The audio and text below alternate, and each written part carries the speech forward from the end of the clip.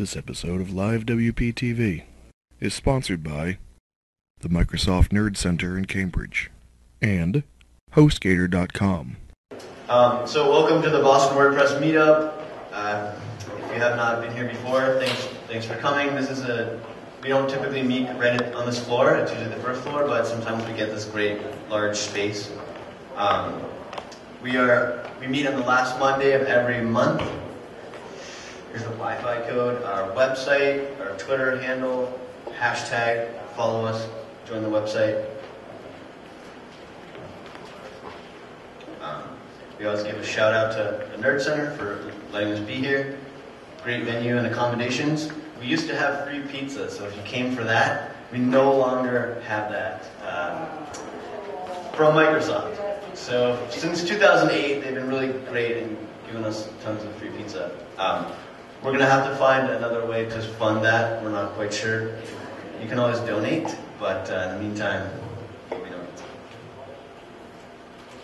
Um, HostGator, HostGator is one of our sponsors. Um, check them out. They have a really easy one-click install that we recommend for a lot of people. Um, use the code Boston WP Meetup for a 25% discount. Um, we also have our theme repository for those who, of you who would like to try one of the frameworks. Visit um, bostonwpdemo.com, and if you see a theme there that piques your interest, send us an email, and we'll try to set you up with an account. Uh, WordCamp Boston. So for those of you who attended or those of you who didn't attend, um, right now the videos are hosted at this URL, blip.tv slash bostonwp. And uh, coming soon, um, all the videos will be here at wordpress.tv slash event slash WordCamp Boston hyphen 2011. Um, once all the videos are up here on WordPress.tv, they will be coming down off of our Blip.tv site since they own the rights to the videos.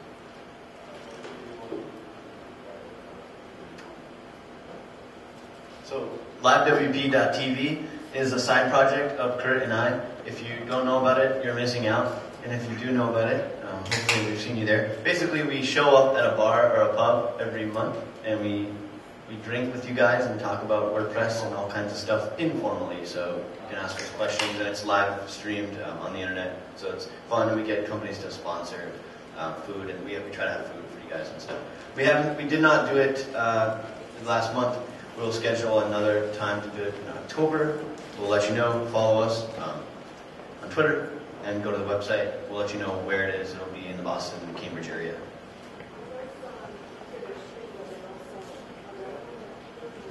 Yes, They're available at our website. This is our call to action. Help Boston WordPress Meetup. So uh, now that we no longer have pizza, you know, we were starting to look for donations. Um, if you guys are willing to help us out, uh, you can. There's a link on the BostonWP.org site. Um, not only will you help us with funding pizza, some of the meetup costs, domain, host, uh, video hosting, and all that good stuff. So we're, try- we're still trying to work out some of the uh, donation levels, um, what you get for each particular level. But if you, if you donate now, we'll, we'll be sure to retroactively add you to those.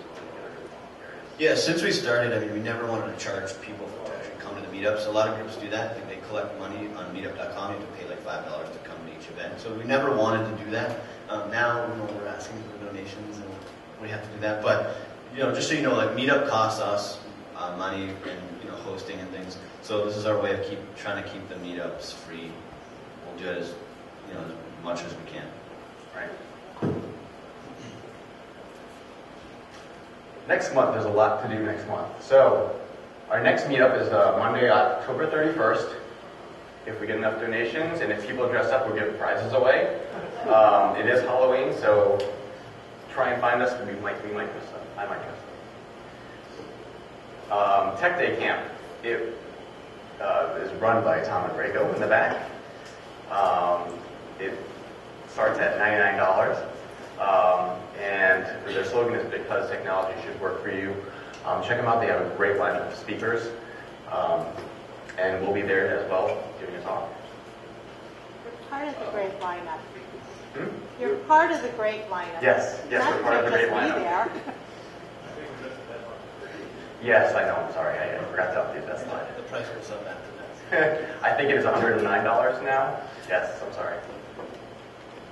Um, we will also have a beginner's workshop following after that. Um, the prices do be determined, as well as the venue. Um, just be sure to follow us on Twitter at Boston WP or check the emails from the meetup group. Um, and our live WP again, that's to be determined. Uh, it'll be somewhere in the Boston Cambridge area. The dates to be determined, but we should have something some- somewhat soon.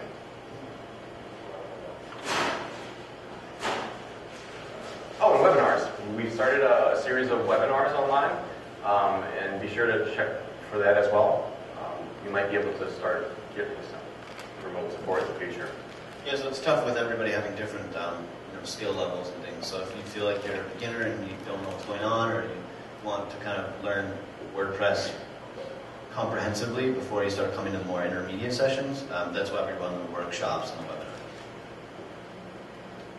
All right, so expert zone. Um, this will be run at the same time as the, the plugin uh, mashup or, or roundtable. Um, James is one expert. Ken is also another.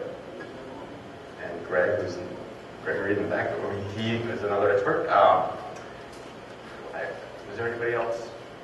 I forgot to check the list. All right, so they'll be set up somewhere either upstairs or in the back. Um, feel free to uh, ask some questions and please be sure to thank your volunteer.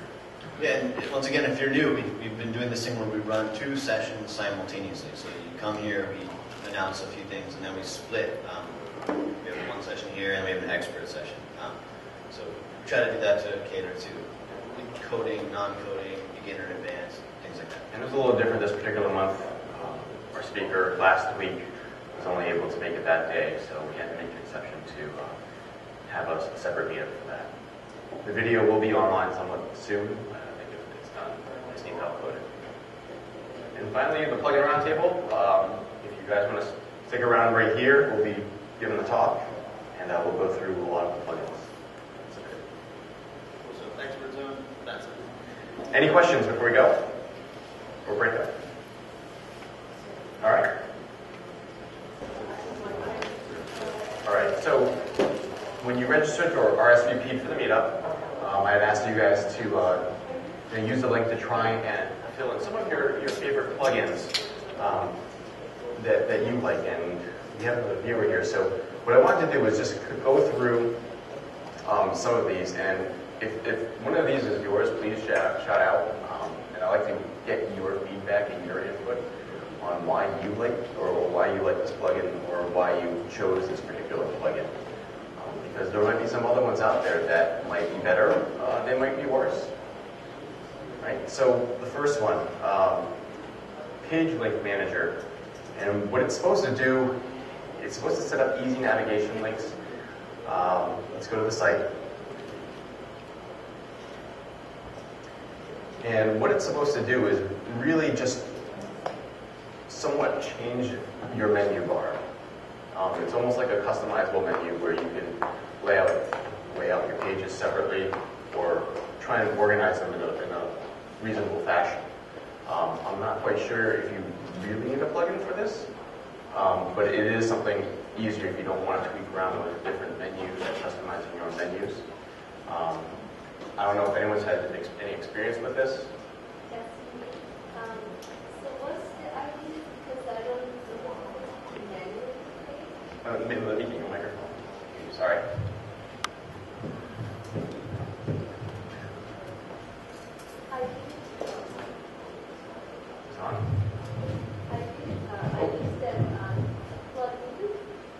I use the plugin because I don't know the difference between the menu and the page. So I wanted to have the menus that I can click on the top uh, navigation bar, Mhm. and that's what I use to to go to different places. Yep. So what other way you said you don't need you don't need that?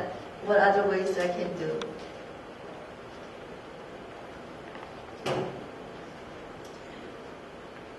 Ooh, I don't know that. Uh,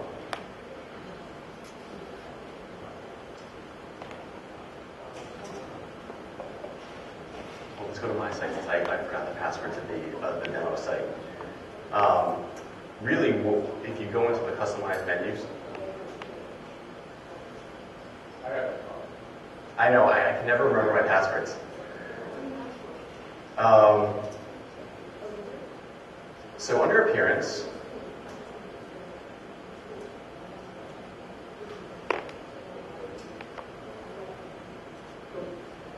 there's a menus tab. And this is where you can actually customize your, your- menu. You can organize it the- any way you want. So you can see here, I have my home menu on the right. And you can see home, updates, how to, food, tech. And that's where you can click and drag your separate pages or categories where you want to. So could you show me your page? Yep.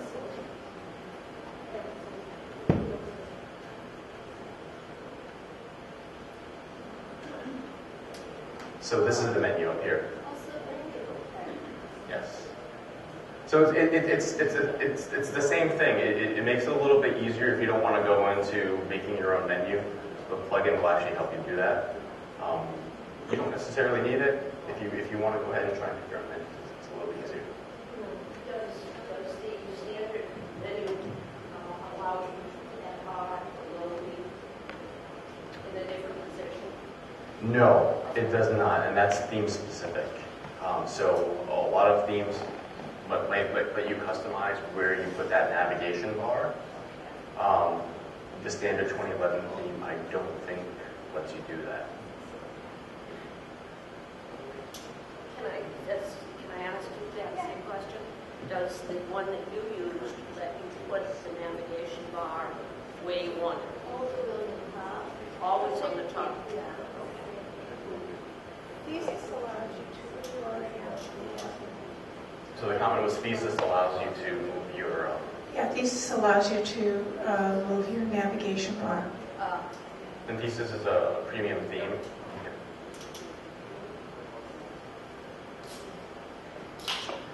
Um, the next one, favicon generator. Does anyone know what a favicon is? Two people? So these little, um, it. So these little icons up here, if you can see my little tabs, the meetup tab here, and if you look at the uh, W here under this tab, those are favicons, and those are actually loaded whenever you go to the website. So you can have your own customizable, I think it's 16 pixel by 16 pixel image um, anytime somebody comes here comes to your site. So if you can see here, you can see my bookmarks bar. All of these are small little favicons, and I can identify each one of these sites just based off the icon.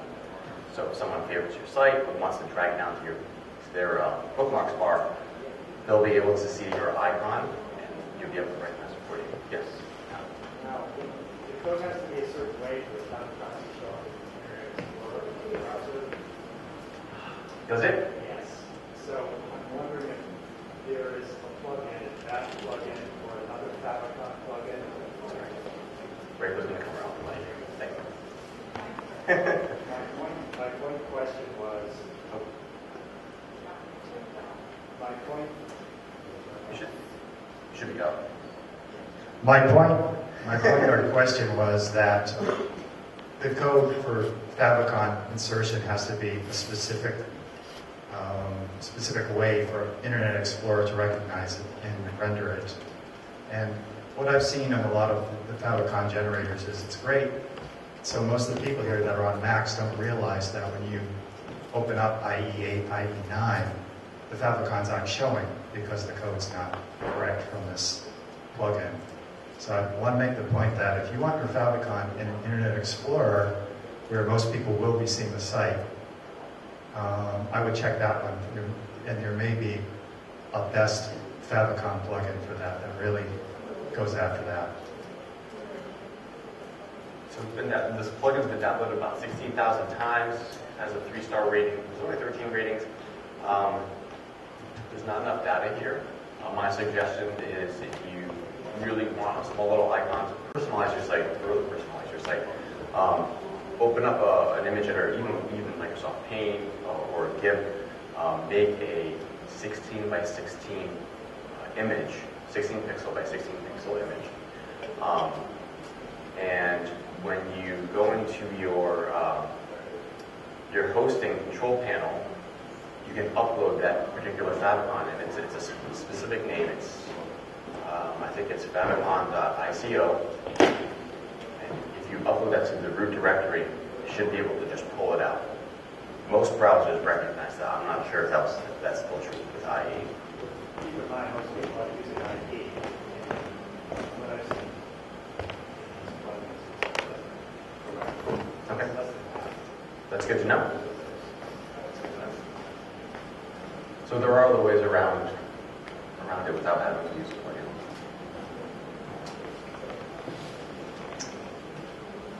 All right, next one is one flash gallery, which is a photo gallery.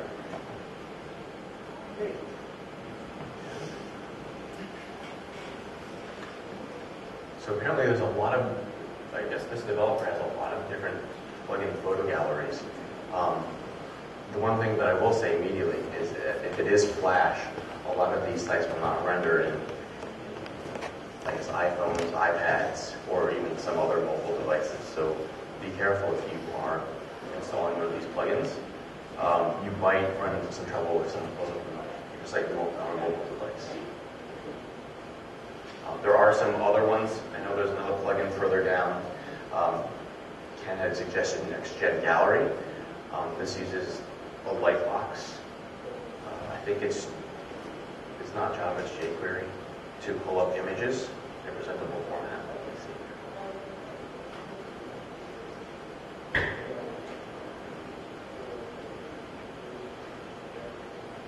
And this is what the NextGen Gallery does. So what it does, it, it, it displays images, and you can it'll, it should automatically scroll through. Or if you click through, you get to see the next image. Keep everything on one page and have your own little gallery.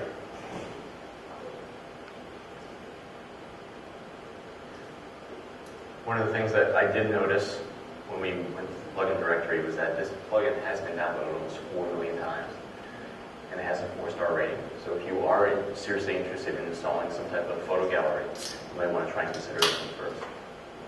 Tom gives it a thumbs up. Does anybody else have any other photo plugins that they might use? Slideshow. Slideshow? Okay.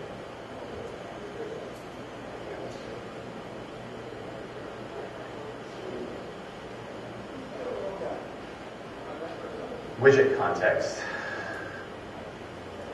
shows hides content in specific sidebars. Um, do you want to say something a little about it? Where's, where's the microphone? Oh.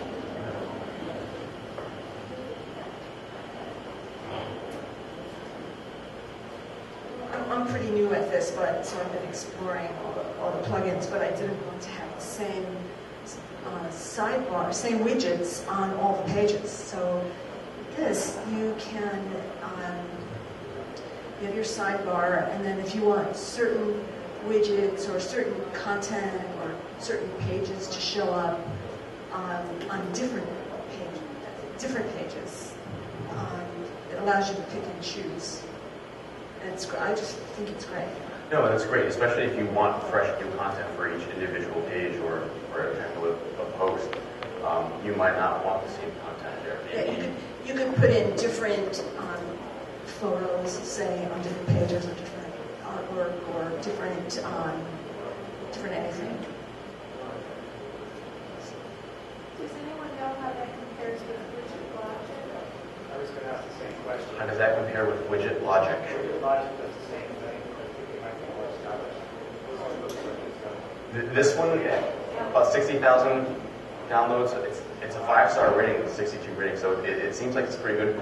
Widget Logic, I think there's a lot more support because I think it might have picked up press first, um, and that's why people rave about it. Um, I'm not quite sure because I actually haven't used either one of them. Um, I'm sure they pretty much do the same thing. Um, Widget Logic might be tailored to specific themes where there are preset widgets, And so you might be locked in. I'm not sure if this one locks you into the theme specific widget. Uh, I don't think so, because I've used it on several different things that I've been trying out. Okay. I use Widget Logic. Really good. I wonder what Widget Logic is working.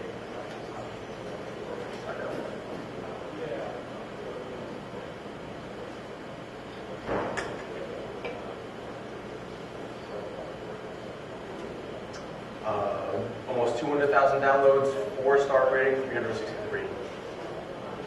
So it- so they're both good. I mean, it- you, just have to choose your own, right? It's whatever you're most comfortable with.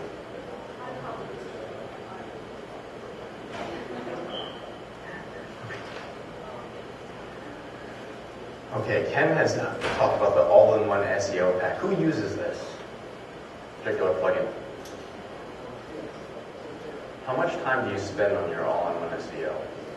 When you, when you, after you write your post, there usually is a, a small field underneath for keywords or, or specific headers. Um, how active are you in, in using this? Pretty active?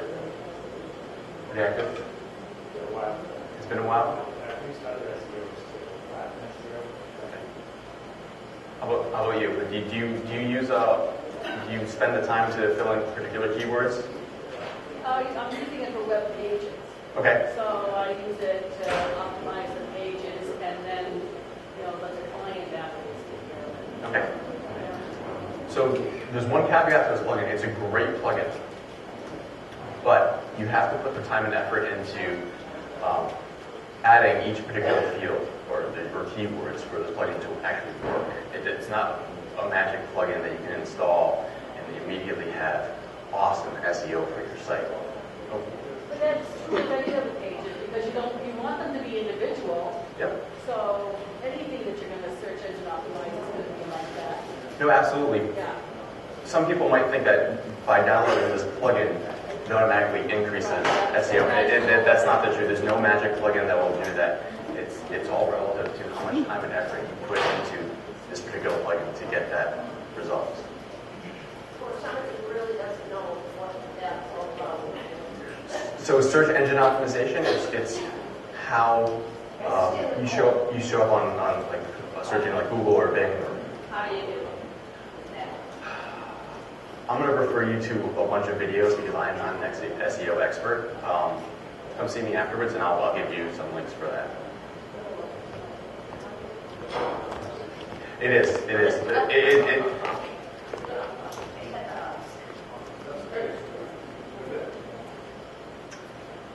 Blubrry PowerPress. So does anybody have a podcast, an audio podcast? site? No. Like to. So Blueberry is a, a service where they host um, podcasts, and they have a plugin that integrates in with WordPress. So you can just put in your podcast without having to upload the upload the uh, the audio file onto your server. And this kind of saves on bandwidth um, and, and server resources, especially when people are trying to visit your site. Um, instead of having them to load your particular uh, audio file there, it's hosted somewhere else. Yeah. Yeah. Only they have a, a nice plugin to integrate it. Is it just audio? Says the HTML5 video and audio. Uh, yeah, I guess it is. Because the last time I, I, I used them was a pod, Podcamp 4. And they, they only had audio, so they, I guess they do have video now.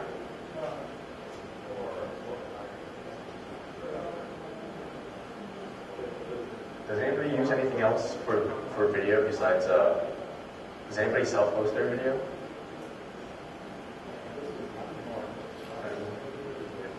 I, I did my test as uh, gallery. um, I can't remember the name. Didn't.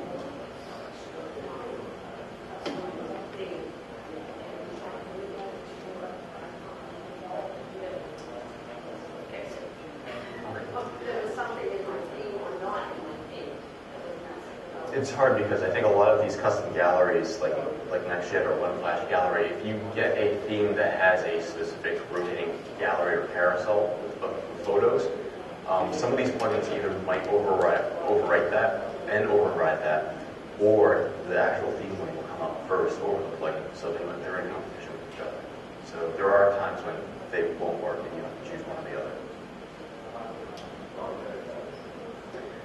This one, I've never heard of this one, and I, I'm glad that Ken brought this up. Exec PHP. Has anybody used this? Because it apparently lets you use PHP code in post pages and widgets within um, your your post window. So.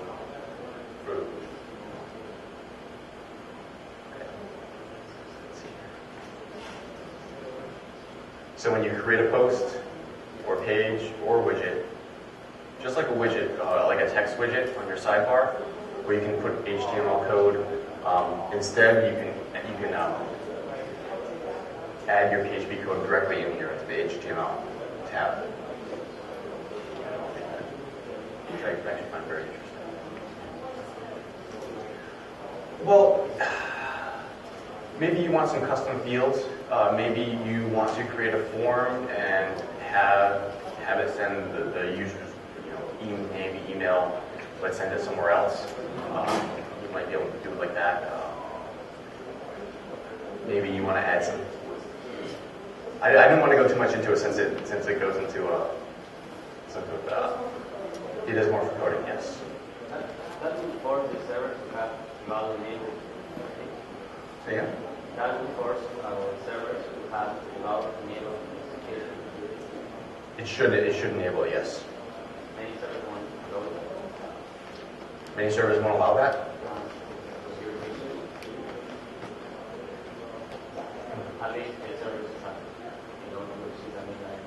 Okay. That's good to know. So yeah, many servers might not enable it. Um, maybe a self-hosted server, like uh, if you have your own virtual private server, it might it might work. Um, but uh, yeah, I, I haven't tried this, so but that, that's a good idea. We're just gonna skip next gen gallery so go over it. Um, sh- oh, short ultimate. Um, anybody use short codes on your site? Do you create your own short codes? Um, so apparently this allows you to, or it has built in a lot of different short codes so that you can you can take advantage of, of particular links to posts, links to pages.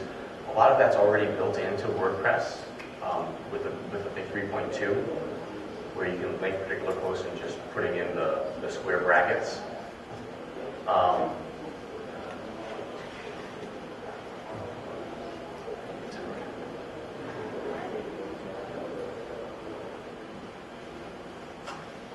So again, a lot of these shortcodes are, should already be built in, and, and a lot of this is under the HTML tab.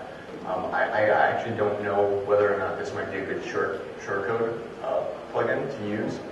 Um, I can't remember off the top of my head the, the uh, plugin that John Bishop uses. He gave a talk um, two months ago about shortcodes. Um, he has a great plugin, uh, and I would check check that video out.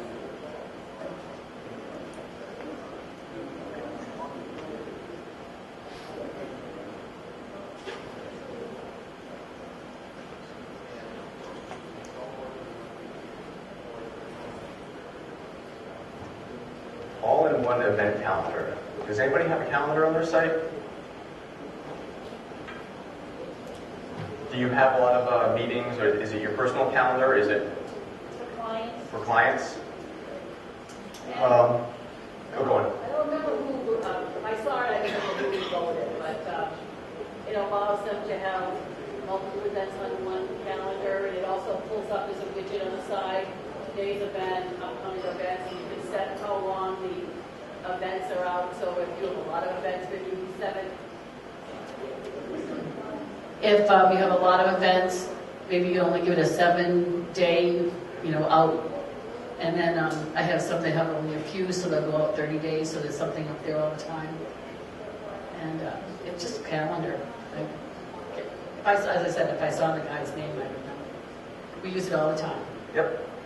Another option, instead of using a uh, instead of using a plugin, um, Boston TweetUp, uh, uses uh, just the Google Calendar.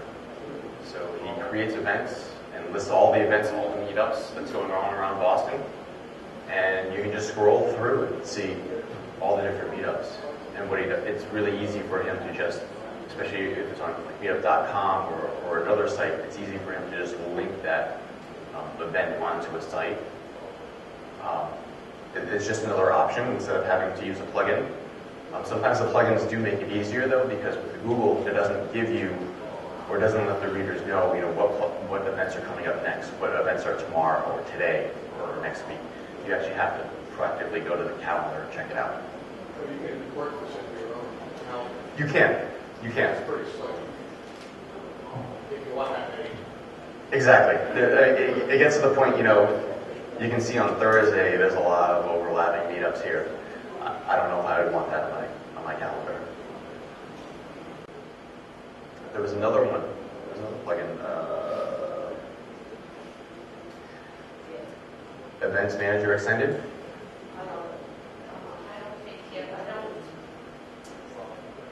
Thank you.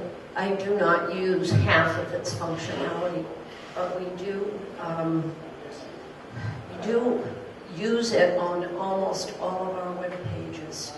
Um, Basically, the events get put on pages by the category, event category, and it rolls the event away once it's passed. Uh, You can set how many events you want on this particular widget area. Uh, And you can, there's a way to have people subscribe to them so they can, and put them in a a calendar. I haven't figured out how to use that yet. It's pretty cool. But it gives you the functionality to do so. But So what- what's your philosophy on the widgets themselves? I mean, because I've got dozens of WordPress sites, and all of a sudden, you go to the site, and things down, you know, oh, I forgot to update the plugins, and so then I basically have to put myself on a maintenance mode, and just go back in and check, and keep updating the plugin, which is a total pain in the neck.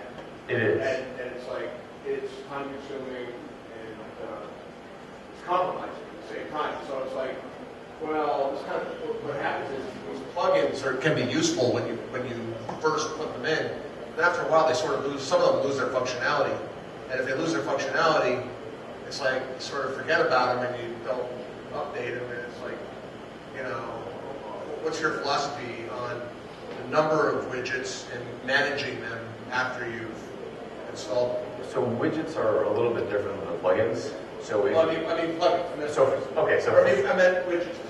No, I meant plugins. What am I- Plugins. Okay. Sorry. So some plugins are are add widgets. Um, so the, for general load times, I think it, it's a page of plugins, um, not all active. I think a good rule of practice is to have about nine plugins active. Um, one of them should always be Akismet, the, um, the spam blocker. Um, that should always be there. Um, but the more plugins you look, you actually have active on your site, the more time it takes for service to pull up each individual plugin. Clogs the site. It does. Poor user uh, experience.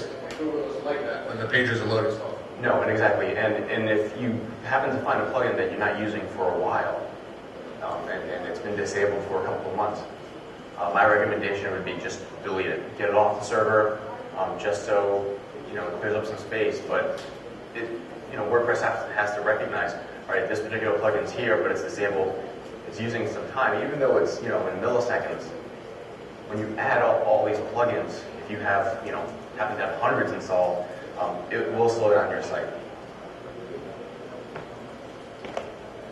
Roughly nine. How many WordPress sites do you personally have, and how do you keep up with them? I don't know. um, there's a lot of sites. Um, as far as up, up, updating plugins, um, whenever you log into the dashboard and you see the little update button, I just select all and hit update, move to the next site. Um, I, I check every once in a while. I, I've been really bad at updating all my sites. So maybe a plugin would be to create an email that would send you out an email and then make it. That would be a great plugin. However, you know, with, with every new revision of WordPress, you'll see a lot of emails that day, right? So if, if it goes from WordPress 3.2 to WordPress 3.3, you know, every plugin that you have, you probably have a new update. You'll be spammed with just all these emails. Um, I, I would check on a weekly basis, you know, once a week, make sure that everything's working before you have, absolutely have to update. Uh, yeah, but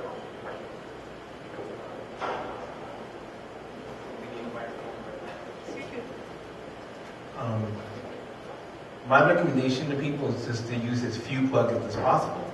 Um, and really think about, do you really need a plugin to do this thing? Um, if you read the descriptions for half the plugins, it just connect to the functionality that's already built into WordPress. You know, um, so part of it is to think about whether you, uh, you even need a plugin at, at all for whatever, for whatever thing. Um, and if you do need a plugin, it should only really be for mission critical, important things on your site. Um, one of the things I run into a lot with, you know, clients and stuff is um, sort of like what um, Kurt was just mentioning. Stuff breaks, things go out of date, you know, and that's update of, of WordPress breaks a lot of things. Um, the fewer plugins you have, the less likely it is you're going to run into that problem. Um, and think about, you know, whether or not that's even um, a necessary thing. Um, and also plugins can conflict with each other, and that's another problem. That um, you know, it's like in the old days with extensions conflicting on have classic version of the Mac operating system or uh, Windows 95 things like that. Then you have to so now you're adding more support and debugging time because now one plugin is conflicting with another plugin. So again, just you know, I, I say use as few as you can get away with. And then if you're gonna have stuff, use stuff like Akismet and other sort of like um, security and backup and things like that. Not so much on, you know, um, glitzy, glam, you know, things that look cool but don't really add any functionality to your site just slow things down. Um, and not providing any protection with security or allowing you back up your WordPress database or whatever. So that's what I would say.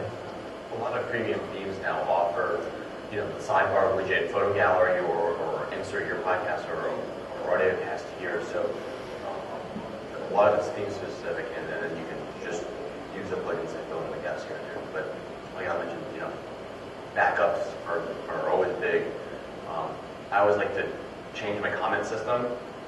Um, so I use Disqus or IntenseDebate, which is an easier way for people to connect onto your site. Um, and So yeah, one of the one of so one of the ones right here, Ray will put in uh, WordPress DB backup. This is a database backup. Um, it only backs up your database. Um, the stuff you see on your server behind the scenes, it backs up and it saves it to your computer. Um, the other half of WordPress is the actual files, your pictures, your images, um, your file structure, your themes, plugins. Um, all that is kept on your server. So as long as you can remember to back up not only your files, but the database, you should be able to recover it if you know your site goes down and you make any errors on your site. Um, look at the universe. Sorry.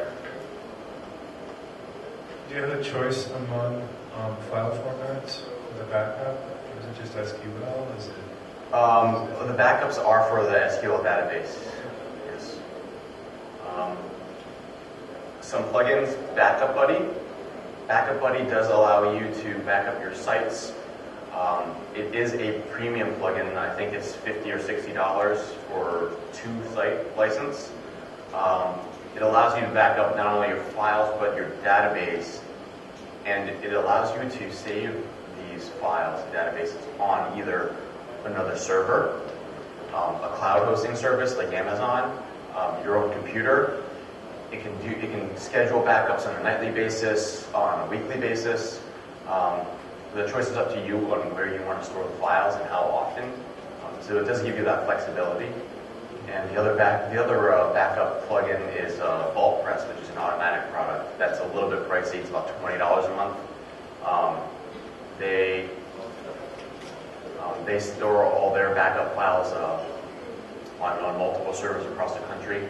And um, one of the nice things that they do is, if your site, if they can't connect to your site, if they find out your site's down, they send you an email saying, "Hey, we haven't been able to connect to your site. Is everything okay?" I've gotten emails from them saying, "Hey, listen, your site's been down for a month. Make sure everything's okay. Uh, we can't connect." Um, so they, they, they proactively watch out for you. Um, It- It also backs up in real time. it does back up in real time. So, I think you know, it's not a weekly or a thing. You- every hour and then on a daily basis. Yep. It's like, it's like time machine for. It is. It is.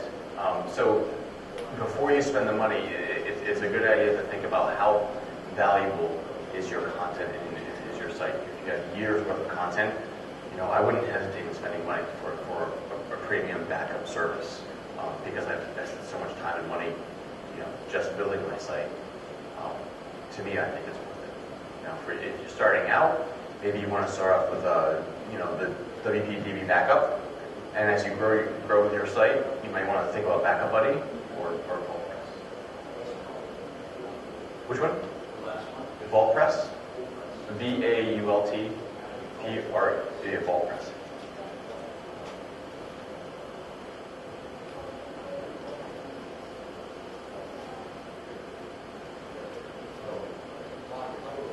Yeah, the, the clock moves. So you can see the last snapshot was 8.15, four minutes ago.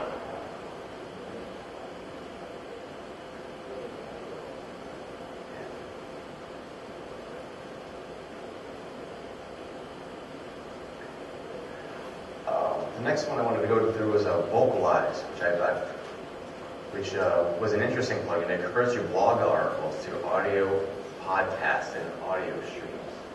Um, so if you're really interested in, if you write a lot of content and you write a lot of stories, um, it might be it might be interesting to take a look at this plugin, um, especially if people can subscribe to it via iTunes. Um, you know, it's, it's just another easy way instead of having to sit down and read through a site. Just pop it on in your car or pop it pop on some headphones and, and catch up with some, some posts.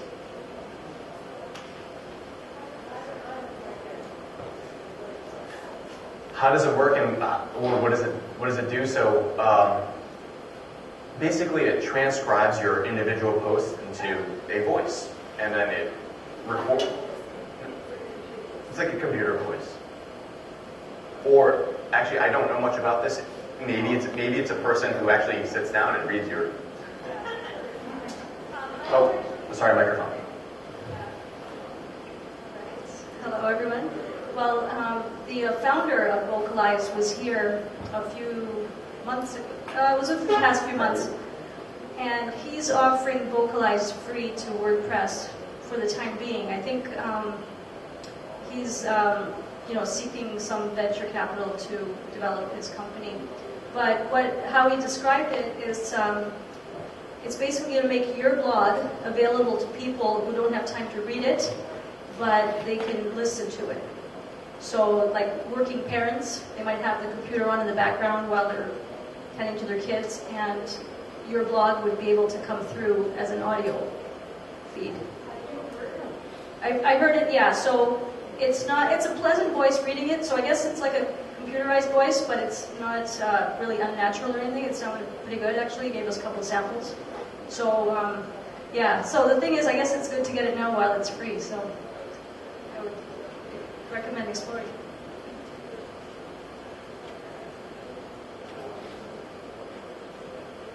And if you try it, let me know. I want to know okay, gravity forms. Does anybody use gravity forms? How do you like it? Good, really good. Good? They were here at the Word Camp the, the first year. They were here at WordCamp the first year, and that's when we bought them. So we got it at half price, which is really great too. Yep. And I was having a problem with one form recently, and I emailed them, and they emailed me right back, and they sent me the newest version that, that I needed, and it's been great. So There are a lot gravity, of forms on that. yep, gravity forms is another premium theme. Um, is it thirty dollars or is it forty dollars for one license? License, I think it's two hundred. I have a developer's license, so I think it's 200. So I think I paid 99 for it. And I, now I think there is, is a yearly s- subscription rate now? Um, Yeah, it's at the business. Personal, personal, forty dollars, yeah, for, to use on one site. Um, it's just a nice, easy way to create forms for your site. If someone wants to contact you, if you have, if you want to make a poll, it's just a, a faster way to, uh, to collate that data. Um, because as soon as you, you, uh, collect that information, and as soon as people go to your forms to fill out the information, it gets pulled into almost like a separate, um, custom post type where you can go through and view each individual response. And you can also export that response into an XML format. So you can import to Excel or uh, some other database. But that, what's that great for my clients is that the email address, they can, They can export out all the email addresses and send out a bulk email or put it into constant contact or whatever. and It works out great. Did you have a Are there any good non-premium uh, form plugins? Um, non-premium forms. Contact Uh, yeah, Form contact seven? forms, Yeah, that's the only one that I. The only the, the, the good part about the gravity forms is it's, it's drag and drop. So if you want to move your different fields anywhere, you can just click and drag. Um, they, they just made it made the interface a lot easier to use.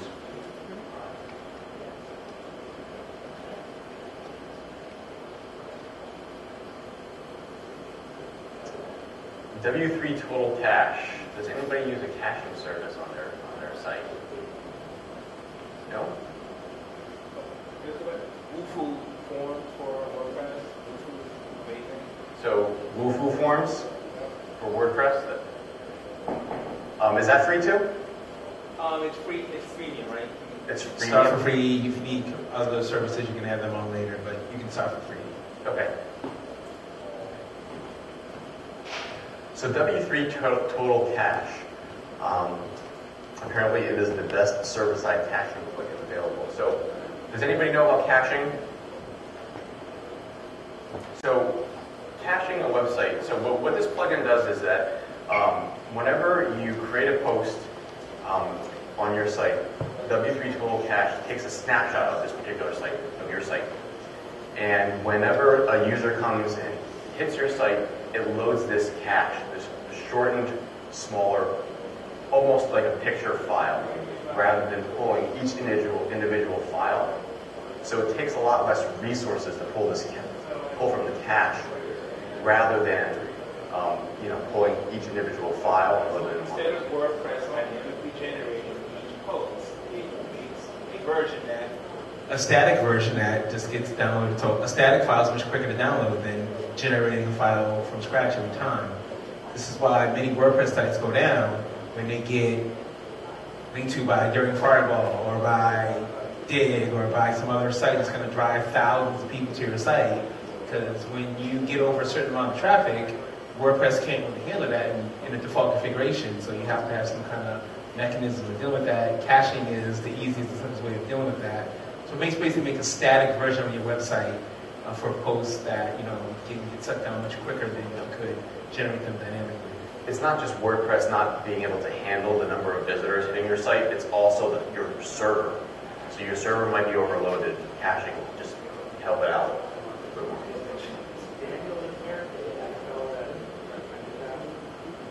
Daniel here?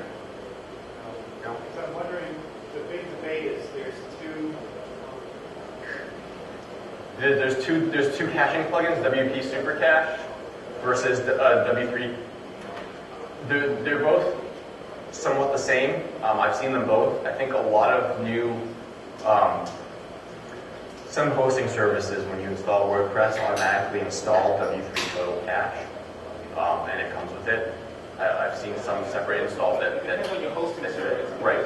Some methods are not compatible with every hosting service. So Right. but if you if you need caching, you kind of already know you need caching. You know, because you, you would already know that if you're getting so much traffic that this is going to be a problem for you.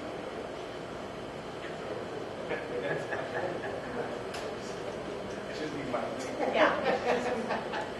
but yeah, so it's a good problem to have. Right. Getting traffic, getting a lot of traffic. Either one, either one will work. Um, there's nothing wrong with, with either one of them. They're both free. They both do their job. Um, is one better than the other? I can't tell you. Yep. Sometimes it's just the server. It's not easy. At least I read, so I was thinking more super versus total.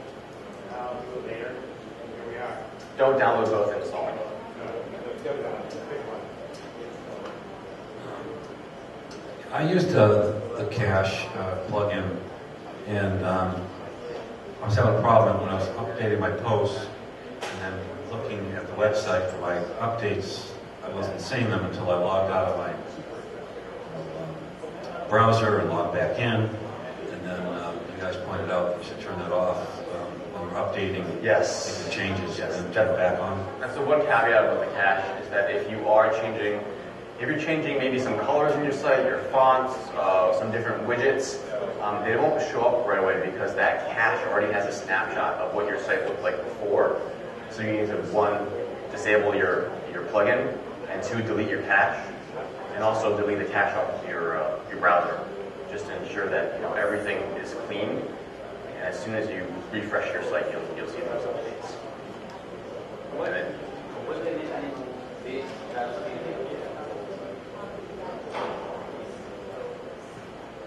Is it time-based or uh, it is watching the database and when you have new post, it's cleaning up and catching them? What's the mechanism to, to renew the, snapshot? So uh, there's normally a timeout option. Um, I think it's every six or eight minutes. It takes a new snapshot. Um, so, it, I mean, if, if your site's being constantly pinged, it'll just load that snapshot until it's updated again. But at that point, I think if your site's being bogged down enough where everyone's going to, you know, a particular page on your site, you're not going to be updating it right away. Um, so there's really no need to, to have that update or, or that refresh, constant refresh. Um, but on the, the code side, I have no idea of whether it pulls from the database or it pulls in from, uh, uh, it has to be from the database. The first time. Yeah, the first time. The First time you generate a, a, a view, right? If you've never, The way it works is, first time somebody visits your site, and then you look at a post on your site, if it's never been pulled up before, it's not in the cache, and it gets generated, and then from that point forward, every time anybody looks at that particular post or article, they don't pull the live version, they pull the cache version. And you can pull thousands and thousands of those, you know. But it's, Comments on dynamic things that are Comments, but comments are different. Comments are, yeah. depending on like, he was just saying, you know, what comment system you're using, because most of those, you use Disqus or you use, what's the other one? The other? IntenseDebate. Intense debate is the other, well, you know, those are all hosted outside anyway, so those, those are not even on your server anyway, so it's less of an issue for that versus stuff that is being pulled out of your database on your server. Is there another hand? Any other questions on caching? Google WordPress and Fireball, there's a great blog post called Don't Get Fireball, which explains the whole caching space. Daring Fireball is a very popular blog by John Gruber, and when he links to a site, and then the site goes down, he calls it getting Fireball because most of these sites are, are unfortunately WordPress sites. So this guy wrote a post about how to not get Fireball. That is, how not have your site go down if John Gruber links to your site and Daring Fireball. So, and how to set up the cache and why it's important and how the whole thing works.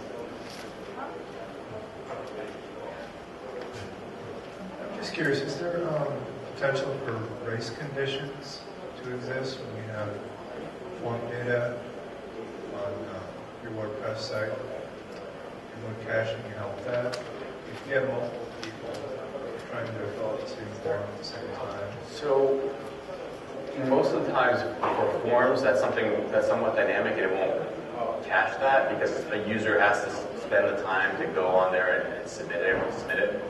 Um, caching is usually something, something fast where it's just a small snapshot. It, it, it won't actually cache that. And especially if your site's being hit or being pinged that often, um, it's something that they might not be able to, to fill out. and, and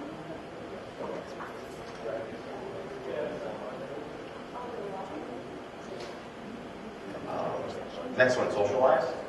You want to say something? say something. Um, well, it's John Bishop's plugin, and I just love it because it um, helps bring social into your website, and I think it's one of the better ones out there after playing with a whole bunch of other ones.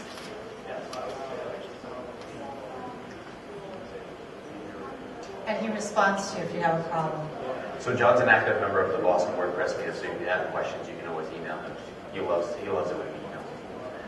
Um, I haven't used Socialize, um, but he, he's given talks, you, you've given a talk on, on, on Socialize, um, and it's great. It's great because you have the little tweet or Facebook thing at the top, and you can have a bar at the bottom, and you know there's so many options that you can use instead of getting something from Twitter, getting something from Facebook, trying to put it all together. It's one plugin that does it all. Do you, can you show a site that actually uses that? Um, Technic, Tech account?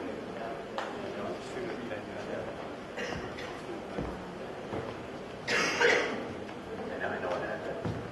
Um, Just go to any post. yeah.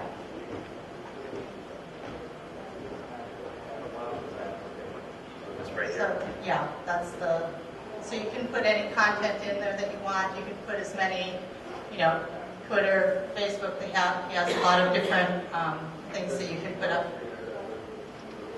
Um, I think so. I think it's in there, which, If not, uh, it. yeah. I think, I think it is in there already.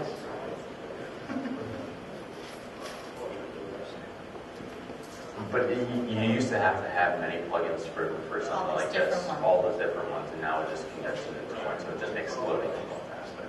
So let me ask you another question. You got all these guys building all these plugins. What's in it for them, I mean, other than fixing their own website? What, I mean, what what incentivizes these guys to to build all these plugins and do it for free? Maybe they, they just want to help people out. I mean, a lot of what, what the WordPress community is all about is, you know, being free. WordPress doesn't charge you for downloading or using their service. Um, and I- it's, it's the mantra of, WordPress and all the camps. And yeah, yeah, exactly. I mean, i i it's that too, but but you know, if you have a, it's not not just to go along with the ego, but Personal branding. it is it, it is it is personal branding, especially when you you're a freelancer on top of that. Then it starts to come in. Yeah, if you know that John Bishop is good at making a plugin and you have some idea for a plugin, you're going to go to him. But it's not gonna fall on the. Someday. Unless, unless it does through, through the referral.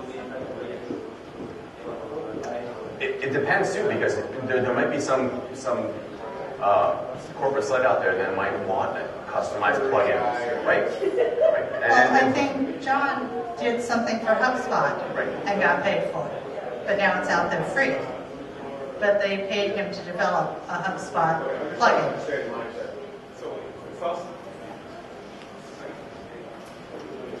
So at WordCamp, and I went to the freelancer track on the second day of WordCamp, which was, excellent. Um, all the guys that I spoke to, none of those guys use any of these plugins. They just write their own, and or they because some plugins have more functionality than you know their client needs, and also they don't want to rely on some third party. If the plugin goes out of date, the guy goes away, he stops doing it, right? You don't want to have a client like you know they upgrade to next version of WordPress and now this plugin is gone and the whole thing. Um, and it's like this guy said, um, there are first of all there are premium plugins. People do make money. They do fill the gas tanks with you know selling plugins and obviously writing plugins for clients when they need something that's custom and they don't want to rely on some third party some third party thing. Yeah. Okay, thank you. Last one, domain map, domain mapping. Uh, good for multi-sites. Um, in theory, it's good for multi-sites. Uh, I'm not sure about this plugin. Um, actually, let's take a look at it. Um, does anybody run a, a multi-user site or a Muse site? Does anyone know what a Muse site is? A multi-user site? You want to know more about it? So, um, what WordPress Mu is, and it used to be its own separate entity a while ago, I think before WordPress 3 came about. Um, and it was a separate install of WordPress where you could have multiple WordPress installations on one site, but it would reside under either a subdomain or a folder. So it could be example1.wordpress.com, example2.wordpress.com. Each one would have its own dashboard, admin panel. It could have its own user group, and it could be completely separate. So a lot of um, universities use it. So maybe, I know Harvard's a big one, where the law school has its own um, WordPress site, um, the business school has its own, you know, the engineering school has its own, but it's all controlled under one super admin uh, WordPress dashboard, and then you have the sub-admin in each individual school. They, no, they, they would be under the subdomain. So there, there is no discrete URL, so you can't have yoursite.com and then yoursite2.com as, as view. Um, I'm not sure if this is what the plugin um, does. Let's see. It, so this is what the plugin does. It, it allows users um, to map to another blog or another site with a different domain. So it just makes it a little bit easier to connect the two sites together.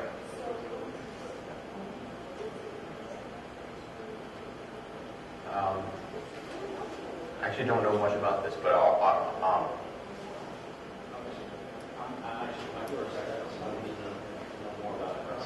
okay. So, So I was just thinking from an e-commerce perspective, because I own a lot of URLs that are tied to the business.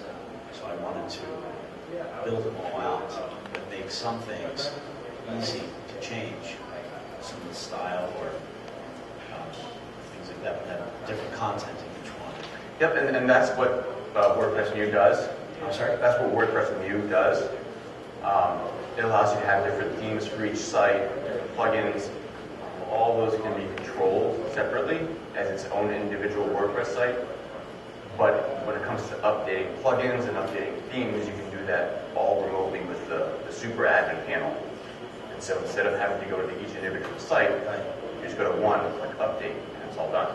And each individual site will have its discrete URL. That's what this plugin does. That's what this does. Yes.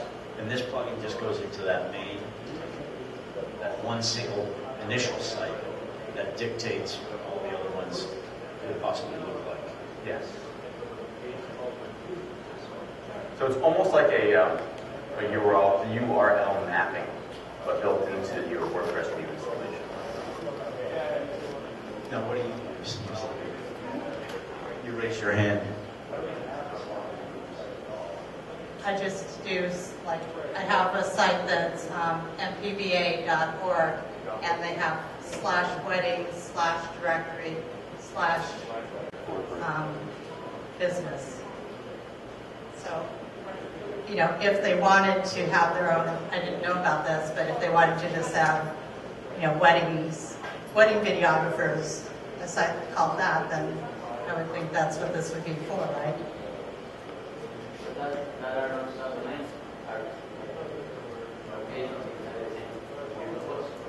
Yes.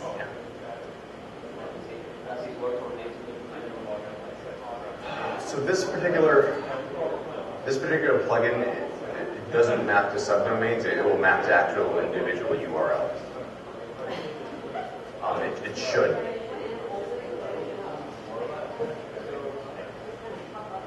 There's a, there's a lot of um, there's a lot of videos out there on WordPress Mu. Um, yeah, so we, uh, when we post the slides, um, take a look at the videos or uh, blip.tv slash Boston WP. Um, and if you search for the WordPress Mu or multi-site, there's a couple of talks on there from WordCamp. Is there anything else you guys have, have questions about for plugins?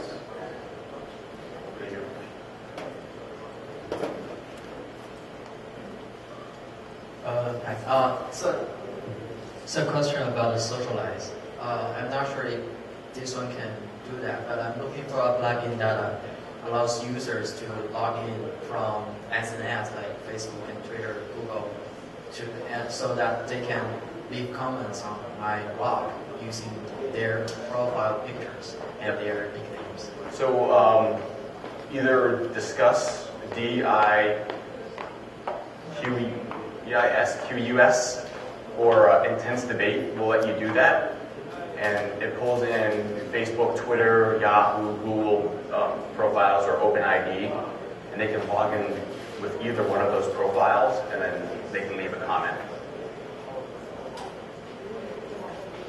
Is there any kind of plugin or other feature that would help to make a website um, show up in a mobile app?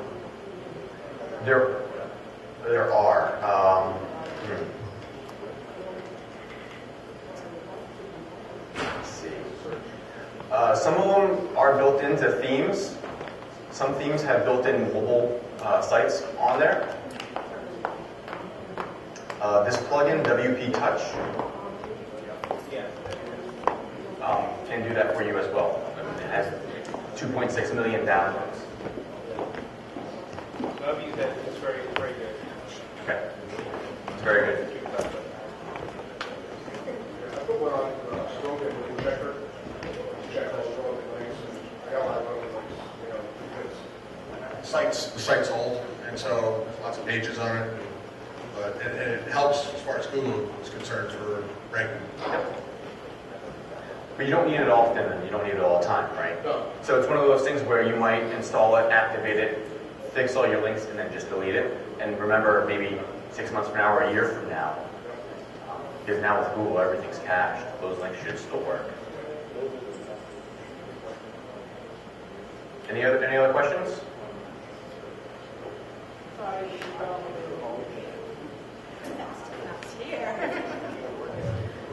I use um, Ultimate Google Analytics, but I'm, I, I think it was at this last word camp that they, somebody said that you can get analytics that show up in your dashboard. Yep. And I don't know which one that is. Google Analytics will do that for you. Um, also, WordPress has its own um, it- WordPress has its own plugin mashup called Jetpack, and Jetpack has, I think, um, Twitter integration. Um, actually, let's look this up right now. Um, it does have um, WordPress.com stats. So all you need to do is with Jetpack, you link your site to um, WordPress.com or Automattic to say, hey, listen, I, I have a WordPress site. I want to use some of your features and functionality. Um, so it has WordPress.com stats, uh, a URL shortener, um, Gravatars, uh, Twitter widget, um, ShareDaddy. It's just another social media sharing. Um, where all of this is built into Jetpack. And it'll show up on the dashboard. It will show up on the dashboard, so it should look like something like, um, so I have two installed. I have both Google Analytics and Jetpack installed. So if you have my Google Analytics, Well, how, what plugin did you use for that one? it's just Google Analytics. So what you, what you can do is on the screen options, um, there's a tab right here, Google Analytics Summary. So I didn't have to use the plugin after all, it's right there. No, you do need the plugin for it. The plugin installs this feature for you. And it pulls in your, your, your, uh, your stats from Google. I'm Sorry, Kurt, which plugin is that? This is the Google Analytics plugin? Well, which, which?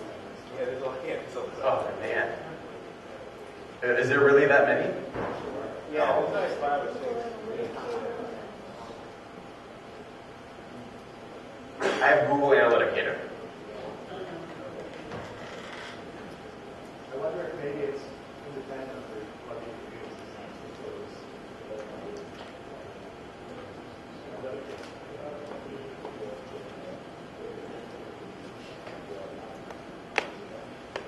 I don't know, it's been so long since I've downloaded this plugin. Um, but I, I've used this and it, it just gives me the quick stats, and, and that's all I really need.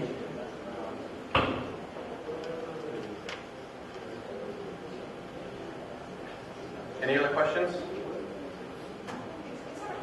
there's two things that I- I'd like to say. Oh, Um, hold on a second. Um, There are just two things that I'd like to say. Uh, One is related to just to uh, analytics that we just talked. Uh, That will give you a whole bunch of numbers. And I would say, look at that with a, a grain of salt or a bucket of salt, but take advantage of it to improve your con- the content of your um, of your site, because those numbers reflect something, and what they reflect is what is in your site. So use it in a productive manner and for yourself, for your own good. So this is the first one. And the second thing I would like to say is make sure that you negotiate with your client or yourself to absolutely have a beautiful way of um, making sure that you leave at the bottom of your of your um, product who you are, who did that site, and how to find you. Because um, a lot of times people would look the product, like the product, like what they see, and they will contact you. And this is something that um, I have used, and it works. So, um, you know, the branding comes along, and, and there is an opportunity to build somebody else's site or uh, help somebody to improve their own sites, and then, you know, bring work for yourself. So uh, it works. So make sure, I mean, many, many times people use this absolutely unreadable uh, font or, you know, don't put a phone that is actually, you know, a real phone, or don't put a website that exists, you know, or, you know, they have discontinued. So make sure that your presence is there and is real. So that's it.